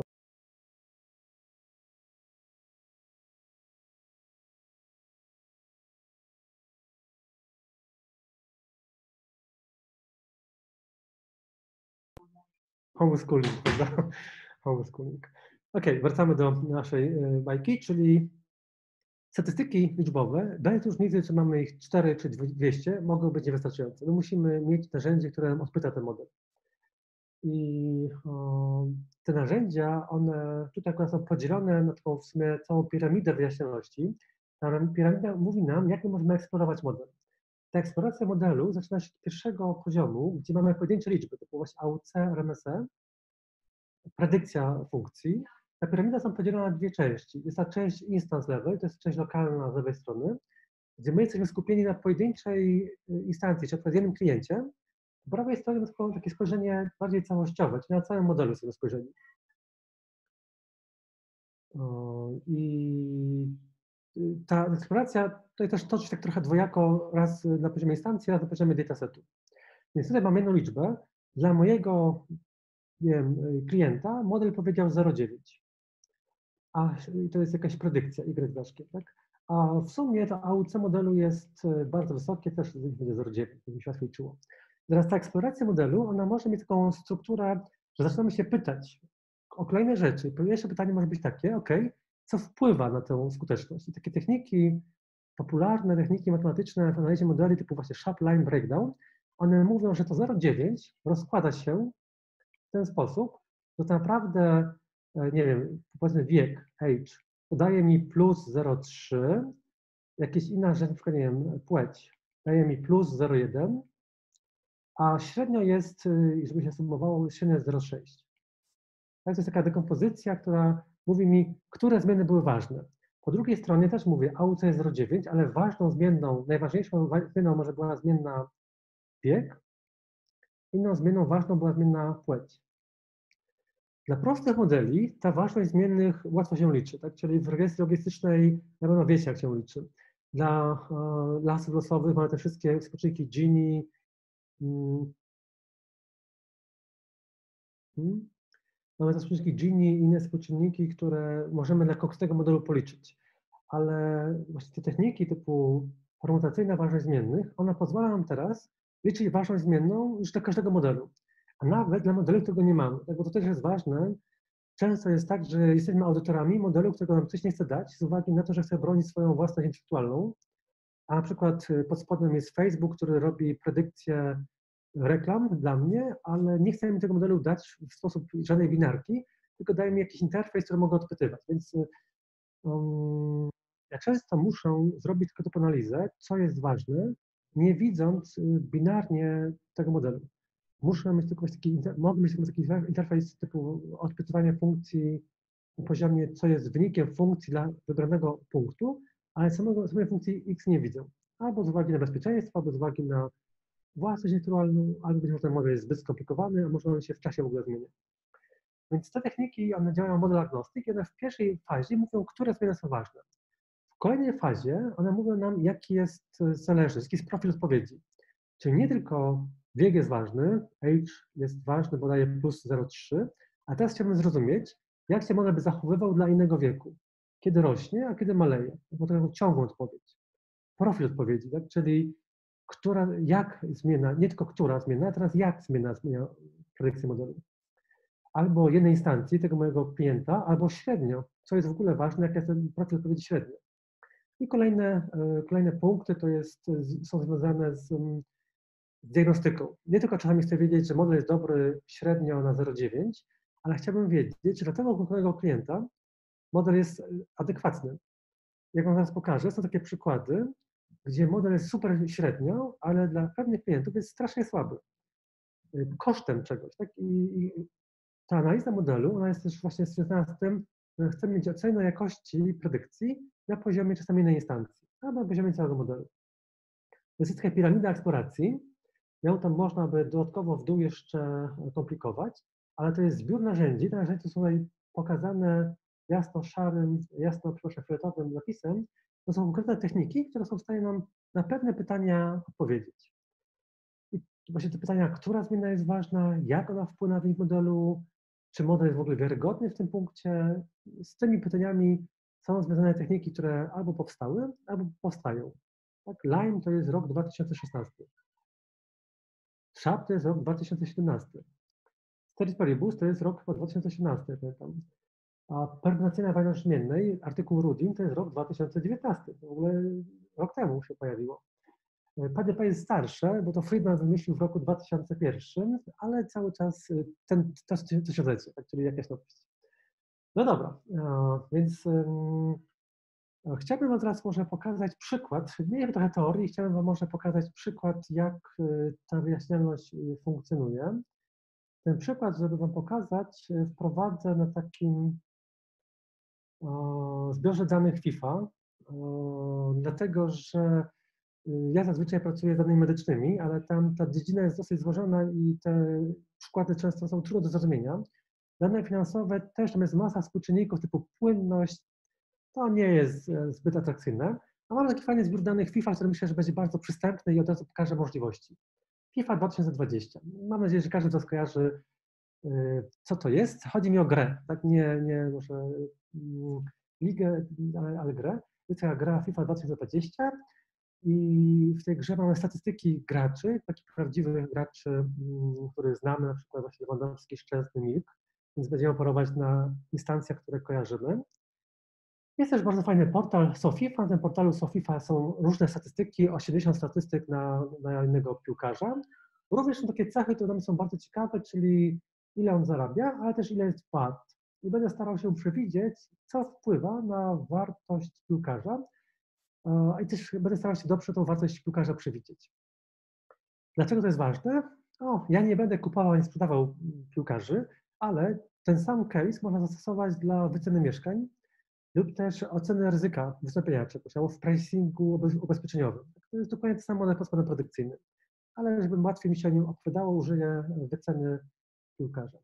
Więc mogą pobrać sobie bez problemu z Kagla zbiór danych dla 18 tysięcy piłkarzy i w sumie mam ponad 80 zmiennych, w większości ilościowych, co dla mnie to będzie łatwiejsze, ale czasami są też jakościowe, czy mamy piłkarz, podaje jego wiek, dzień urodzenia, wysokość, wiek, narodowość, klub, jakieś tam współczynniki, wycenę i tak dalej. 80 zmiennych. Tak jak powiedziałem, modelowanie jest fajne, ale data scientiści to są tacy ludzie, którzy najlepiej automatyzują swoją własną pracę. Tak? Czyli pierwszą rzeczą, którą zrobiliśmy, to AutoML. Już dzisiaj nie musimy oglądać tych wszystkich oddziałów na zbiór uczący testowy, po prostu odpalam sobie AutoML albo robię coś innego. Więc ja też na modelowaniu się w ogóle będę skupiał. Robiłem sobie jakiś model, albo użyłem AutoML z H2O, albo sobie użyłem AutoML z AutoScikit-Learna, albo AutoWeke, albo o, Tipota, MLJara, masa jest tych rzeczy. A z akurat JBM sobie użyłem, nie ma znaczenia. Czyli wrzuciłem do czarnej skrzynki mój model, dostałem jakiś wynik. No i teraz mój wynik, znacie tego człowieka, mam nadzieję. Jak nie, to mi to trochę trudzi za prezentację. Robert Lewandowski. Jak może być znany z różnych rzeczy. Reklamował chyba Wistulę, ale chodzi mi bardziej o to, że jest najwyżej wycenianym polskim piłkarzem. Jest też napastnikiem. Więc mój model, taki zrobiony, wiecie, od ręki, jeśli nie przyjmowałem to specjalnie, właściwie teraz modele się robią automatycznie, musimy zrobić setkę, więc nie ma też czasu myślenia o każdym z nich zbyt szczegółowo. Model powiedział mi, że Robert Lewandowski jest wyceniany na 73 miliony. Jak uważacie? Dobrze czy źle? Dużo mało? Naukowców nikt nie wycenia, ale może lepiej, prawda? Byłoby smutno się zostawiać takimi piłkarzami. No w każdym razie te techniki, które Wam chciałem pokazać, tam teraz pozwolą zrozumieć, skąd się to bierze. Czyli tą piramidę, którą przed chwilą Wam pokazałem, rozłożę z użyciem narzędzia, które pozwoli mi właśnie eksplorować ten model. Narzędzie nazywa się Breakdown i żeby Wam je pokazać, potrzebuję zmienić komputer, więc pozwolicie, że tu się wyłączą, a włączą się tutaj.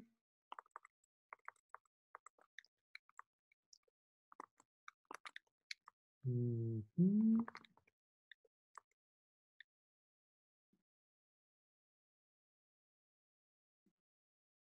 Czy widać mój ekran?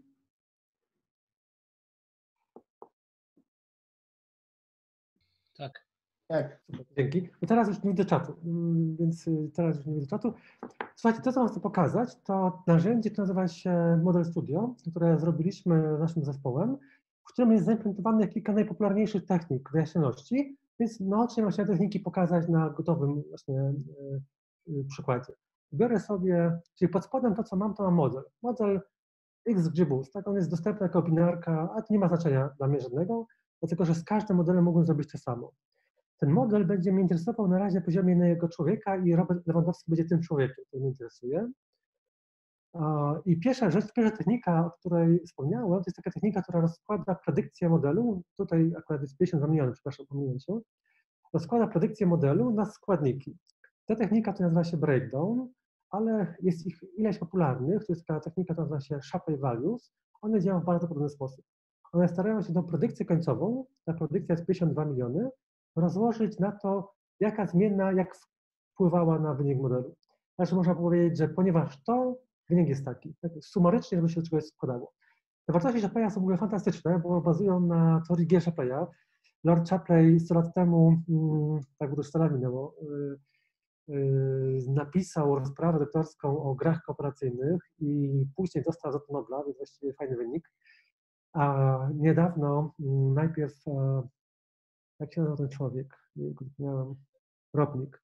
Najpierw Robnik y, zastosował tę teorię Shapleya do predykcji, e, do właśnie do kompozycji wyniku modelu, ale e, nie przybiło się to, to było zbyt wcześnie. Dopiero Lundberg kilkanaście lat później, trzy lata temu, użył tej teorii i może też, też rozszerzył do, do modeli projekcyjnych. Ta praca Lundberga właśnie o metodzie SHAP jest teraz super popularna. Liczba gwiazdek, tam nie wiem, 15 tysięcy gwiazdek na GitHubie, tyle samo cytowań, no jakaś w ogóle fantastyczny wynik. A jak to działa? Działa w ten sposób, że porównując na wartościach oczekiwanych, breakdown to jest taka wariant tej metody, więc może nie będę szczegółowo ich omawiał, ale y, sprawdza się, jak bardzo ten końcowy wynik modelu zmieni się, jeżeli będę zaburzał, permutował poszczególne zmienne i dzięki takim właśnie atakom na zmienne jestem w stanie rozłożyć, co, jaka zmiana była kluczowa dla predykcji modelu. Jak jestem w stanie to rozłożyć, to jestem w stanie później też pokazać właśnie, że te zmienne się sumują do co, modelu. E, szczegółów nie pokażę, są one opisane, mam nadzieję, że w przyzwoity sposób w tej książce, którą linkowałem wcześniej, o której jeszcze później powiem kilka słów, ale ogólnie e, to jest technika model agnostic, czyli dla każdego modelu działa. Głęboka sieć nie ma znaczenia, mam taką adytywną dekompozycję. No i na przykład dla mojego Lewandowskiego ta adytywna dekompozycja powiedziała tyle, że właściwie Lewandowski jest całkiem niezłym piłkarzem dla wielu z tych współczynników, ale jest taka jedna zmienna, która obniży jego wycenę, tak jak wiek. On jest stary, jak na piłkarza, bo ma 30 lat aż. Nie mówię wam, ile mam lat, bo będzie to smutne, ale, ale dla piłkarza akurat 30 lat obniżyło jego wycenę o 4,5 miliona euro, więc y, trochę pieniędzy. Inne zmienne podnosiły tego, tę wycenę. Więc znowu, pierwsza rzecz, techniki typu Shapley Value Breakdown są w stanie y, ocenić, adytywnie rozłożyć model na składowe, które przypisuję do zmiennym, tak, że ja mogę powiedzieć w tej jednostce, czyli w euro, jak bardzo ta zmiana kontrybuowała do końcowego wyniku. Jak ona w tym miejscu obniżyła 4,5 miliona e, wartość Lewandowskiego. To kolejne pytanie na piramidzie wyjaśnioności to jest pytanie o to, co by się wydarzyło. Ceteris paribus. Zatem kliknę właśnie na ten age i tu jest taki profil odpowiedzi. Ceteris paribus, czyli gdyby wszystko inne się nie zmieniło. To jest taka historia, zakładając, że wszystkie pozostałe współczynniki Lewandowskiego są takie, jakie są, jak jego wycena by się zmieniła i to jest profil odpowiedzi. Kropka to jest Lewandowski, no, ma te 30 lat.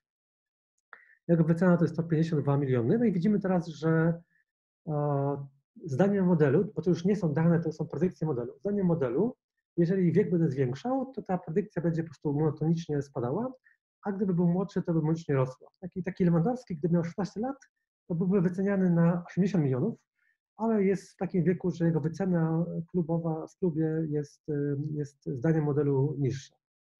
Oczywiście na to się składa to, że ten klub ma mniejszą szansę na sprzedanie i tak dalej. No dobra, więc y, jedna rzecz, którą możemy odczytać, to właśnie, które zmiany są kluczowe, a druga zmiana, które zmienne, jak, jak się ta zmiana zachowuje. Czemu to jest ciekawe? W modelach taki bardzo prosty, jak model liniowy, zakłada się, że efekt każdej zmiany jest taki sam ale modele te elastyczne typu głębokie sieci, boosting, bugging, te wszystkie rzeczy, które znamy, one dopuszczają interakcje pomiędzy innymi. Czyli taką sytuację, że efekt jednej zmiennej zależy od innych zmiennych. Lewandowski jest napastnikiem, więc te zmienne typu właśnie kontrola piłki, skuteczność końca ataku, e, one są bardzo ważne i one powinny wpływać na wycenę napastnika, ale spójrzmy, jak wyglądałaby ta wycena dla Szczęsnego, który jest bramkarzem. Tak? I widzimy tutaj, że to są, szczęsne jest zdania modelu wyceniane na 26 milionów euro, czyli trochę mniej, a generalnie bramkarze są niżej wyceniani, są też mniej medialni. Te zmienne, które są zdaniem metody SHAP i zdaniem metody Breakdown ocenione za najważniejsze, spójrzmy z innymi zmiennymi. Tak? Dla szczęsnego te kluczowe czynniki, które wpływają na jego wycenę, to, jest, to są charakterystyki goalkeeping, positioning, goalkeeping, handling i takie inne rzeczy, związane z charakterystykami o, bramkarza. To są zmienne, które miał też Lewandowski, ale dla niego one nie były kluczowe. A dla e, Szczęsnego one są ważne. Tak? Czyli te techniki breakdown shop są w stanie złapać informacje o tym, że mm, są w stanie złapać informacje o tym, że dla różnych osób inne zmienne mogą być kluczowe dla ich predykcji. Tak? Dla y, Szesnego to jest najważniejsze, dla Lewandowskiego coś innego jest najważniejsze. Słuchajcie, pokażę wam Ronaldo. Ronaldo nie jest taki stary jak ja, ale jest starszy niż Lewandowski. Więc on jest w takim ciekawym miejscu, gdzie w ogóle z uwagi na charakterystyki jest w ogóle mistrzem, ale zmienną, pojedynczą zmienną, która najbardziej obniża jego wycenę jest dokładnie wiek. Tak, jego wycena 38 milionów mniej więcej zdaniem tego modelu jest obniżona przez y, wiek o 7,5 milionów miliona euro, dlatego że on już jest w tym miejscu tej krzywej spadającej. Co jest ciekawe w tych analizach, które możemy przeprowadzić, to nie tylko dowiemy się, jak model reaguje dla jednej instancji, bo to jest cały czas na poziomie Ronaldo, to nie jest średnio, to jest dla tego każdego człowieka. Mówimy o konkretnym piłkarzu. Jego wycena jest mniejsza o 3 miliony, dlatego że rok jest o jeden albo dwa niższy. Więc możemy to samą analizę zrobić dla innych zmiennych i czasami to są bardzo ciekawe obserwacje. Postaram się znaleźć coś bardziej może szałowego. Nie, nie ma, nie ma. No trudno. Jak będzie ten skill ball control. Hmm. To taka ciekawa sytuacja. Tu mamy wycenę o, tym razem Ronaldo na bazie właśnie tego współczynnika skill ball control. Ona jest tutaj maksymalna, bo na skali od 0 do 100 Ronaldo ma właśnie maksymalną możliwą wartość. Jeszcze mogę pokazać rozkład. To jest histogram, więc Ronaldo jest tam na prawym brzegu tego rozkładu, jest po prostu w tym współczynniku najlepszym z piłkarzy należy do najlepszych, najlepszych piłkarzy, to widzimy, że ta wycena jest taka, że albo się jest naprawdę najlepszym i ona rośnie, albo się jest przeciętnym albo słabym, to nie ma znaczenia. Tak? Model, akurat tutaj GBM, nauczył się czegoś takiego, że dopóki ktoś nie osiągnie poziomu 65, to nie ma znaczenia, czy to jest mizerny napastnik, czy średni napastnik, po prostu jego wycena jest praktycznie taka sama. A jedynie w tej grupie najlepszych, najlepszych ma znaczenie, czy się jest właśnie tutaj, czy, czy, się ma, czy, czy jest w tym miejscu.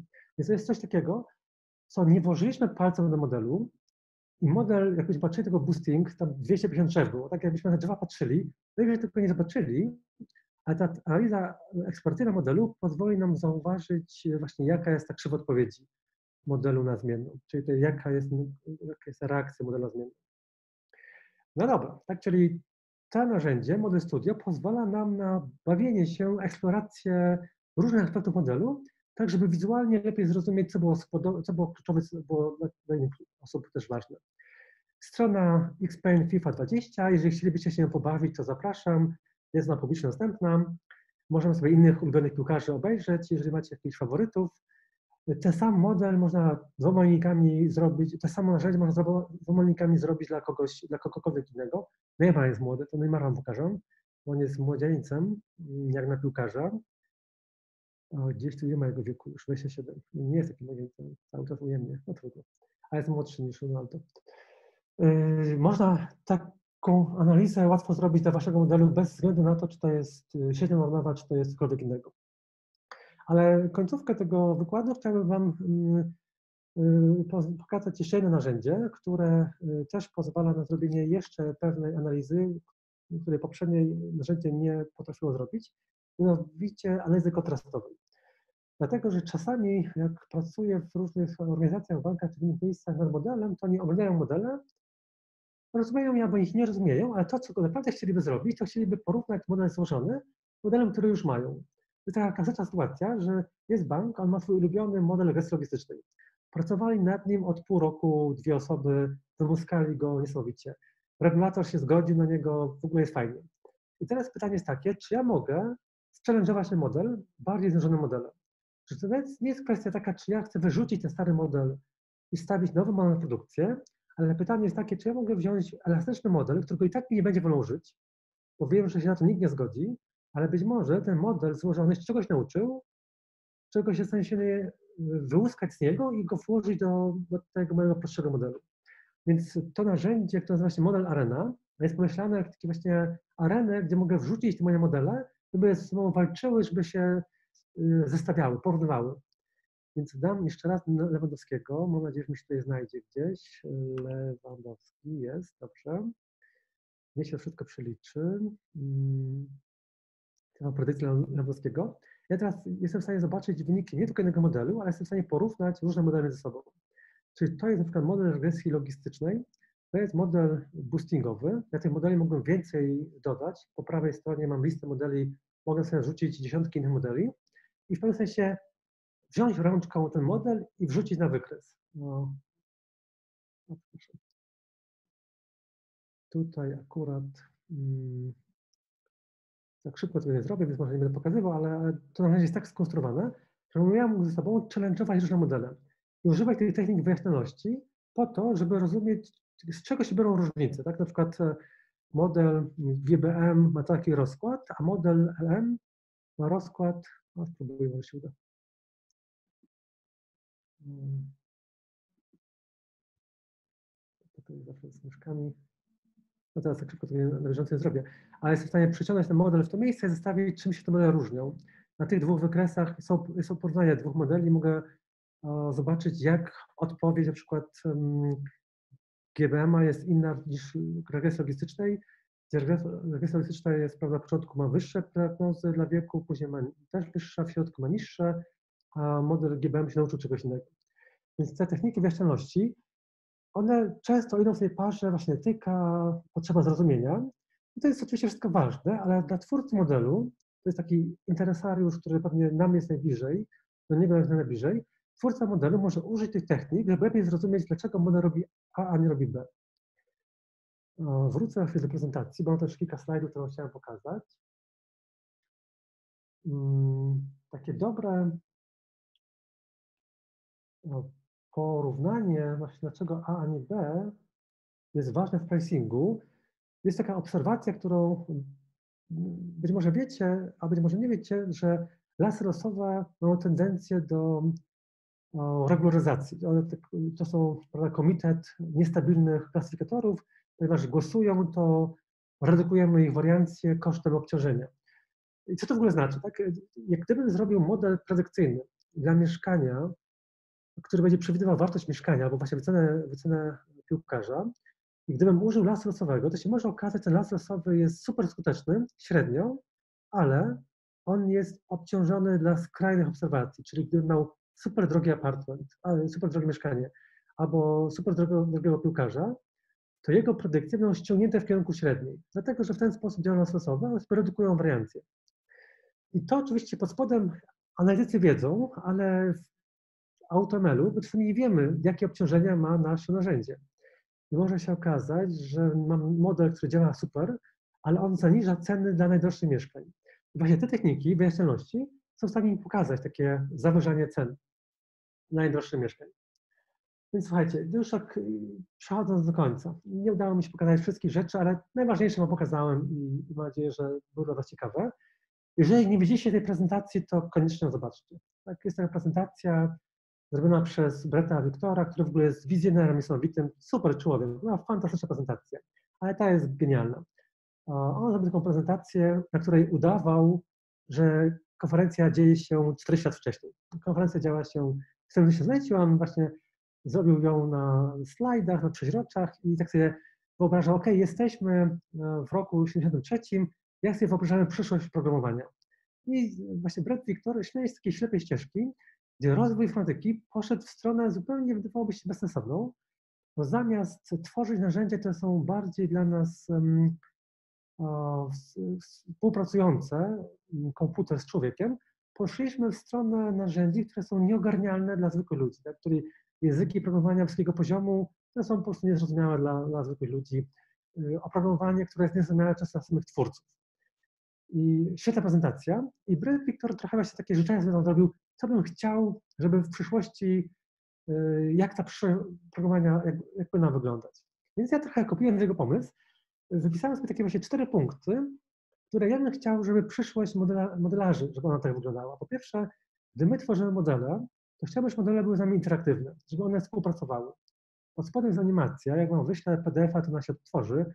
Teraz oczywiście złośliwość produktów martwych się nie odtwarza, więc chciałbym, żeby była taka możliwość interakcji, interakcji z modelem. No ja sobie mógł z nim porozmawiać, zestawiać różne aspekty modelu. Druga rzecz, to jest ważna, często ja na przykład uwielbiam wykresy, ale okazuje się, że bardzo dużo ludzi ich nie rozumie. Pracowałem w OECD i to był taki dowcip w OECD, że wśród e, e, OECD to jest organizacja, która tworzy raporty dla polityków. I był taki dowcip, że polityk jest w stanie zrozumieć wykres słupkowy, ale już wykresów kropkowych nie zrozumie. Mieliśmy takiego dyrektora, Schneidera się nazywał, i on uważał, że jest w stanie wytłumaczyć wykres y, scatterplot politykom. Wszyscy z niego się śmiali, że to jest niemożliwe. W każdym razie, to co jest ważne, to bardzo często, na przykład my dostarczamy narzędzia do lekarzy, oni też są super specjalistami, ale nie czują się komfortowo w czytaniu wykresów, bo uważają, że wykres nie bardzo wiadomo, gdzie ma początek, gdzie ma koniec, na co patrzeć. Więc my musimy mieć taką hybridowy dostęp do wyników modeli, który nie tylko jest oparty o wykresach, bo o liczbach, ale jest oparty o rzeczy, które domena rozumie. I na przykład z lekarzami, dla nas było zaskakujące, lekarze, niektórzy przynajmniej, woleli, to są super specjaliści, woleli opis tekstowy, wygenerowany automatycznie z obrazka, dlatego że opisem tekstowym mogli sobie przeczytać od pierwszego słowa do ostatniego słowa i być pewni, że każde słowo przeczytali i zrozumieli. Z wykresem, który mnie się wydaje, że ma dużo większy potencjał transmisji danych, nie ma takiej gwarancji. Ja nigdy nie wiem, czy ja czegoś nie przeoczyłem. Może coś było ważne, nie wiedziałem, że to jest ważne. Więc y, potrzebujemy takich narzędzi, które są opisowe w medium, które rozumie odbiorca. A kolejna rzecz, która jest ważna, to jest ta kontrastowość. Tak? Y, jakby jak działa model, nie ma sensu, jeżeli tego nie mogę odnieść do czegoś innego, do jakiegoś baseline. Jeżeli model mówi, że coś jest wysokie albo niskie, może to ma sens, może to nie ma sensu, nie wiadomo. Nasze narzędzie powinny umożliwiać porównywalność. Tak? Jeżeli ja coś analizuję, to powinno dać się zestawić dwa modele ze sobą i zobaczyć, czym te modele się różnią. Jeżeli dla Was to brzmi w tej chwili jako coś oczywistego, to Was zaskoczy to, że żadna z obecnych narzędzi w Pythonie i prawie żadna w Erze nie pozwala na tworzenie kontrastujących wyjaśnień. Ja mogę wyjaśnić model, jak działa, ale żadne z tych narzędzi mm, by default nie jest w stanie zestawić modeli ze sobą. A to jest konieczne, dlatego że nasza domena jest taka, że zawsze będzie coś lepszego albo coś gorszego. Ja jestem w stanie tylko pracować na, na diffach, na porównaniach, że jakiś model jest inny od innego modelu. Więc potrzebuję tych wyjaśnień kontrastowych. I potrzebuję takich wyjaśnień, które są, z którymi można porozmawiać. Gdybyśmy mieli trochę czasu, zachęcam Was, żeby spojrzeć w tą stronę. Mm, jest to strona zrobiona przez mojego magistranta, który zrobił Xaibota. To jest taki bot, który można sobie porozmawiać o akurat o szansie przeżycia na katastrofę Titanicu. I ten bot nauczył się, to taki model Random Forest, akurat, który się nauczył różnych cech i nauczył się przewidywać, jaka jest szansa przeżycia. Możesz sobie z nim pogadać trochę o tym, jaka jest moja szansa przeżycia. To jest ciekawe, to wypuściliśmy w świat, żeby zobaczyć, o czym ludzie chcieliby porozmawiać z modelem. I okazało się, że mają bardzo różne pytania. Czasami, czy moja szansa życia jest duża, gdybym był górą lodową, tak? czy byłaby większa, czy mniejsza, niż gdybym był statkiem. Pytania są bardzo różne, zadania w naturalnym. Czasami są pytania, które można właśnie przeanalizować, lepiej zrozumieć, jakie są potrzeby użytkownika, wykonstruujemy wyjaśnienia dla niego. No dobra, słuchajcie, to były moje życzenia na przyszłość. Zostało mi jedna minutka. Wybaczcie, że ja ją wykorzystam jeszcze. Yy, przedłużę ten wykład, to wiem, że to jest największa, najgorsza rzecz, to może zrobić prelegent, ale, ale muszę to pokazać. To, co pokazywałem, to nie jest teoria, to nie jest właśnie coś takiego, co, co się dzieje tylko na nauce, to już trafia do, do firm. W tym rozdaniu grantów szybkiej ścieżki do mnie zwróciło się prawie pięć firm, które szukało właśnie wsparcia przy Ksaju. Ja akurat nie mogę z nimi nic zrobić, ale, ale widać, że jest zainteresowanie.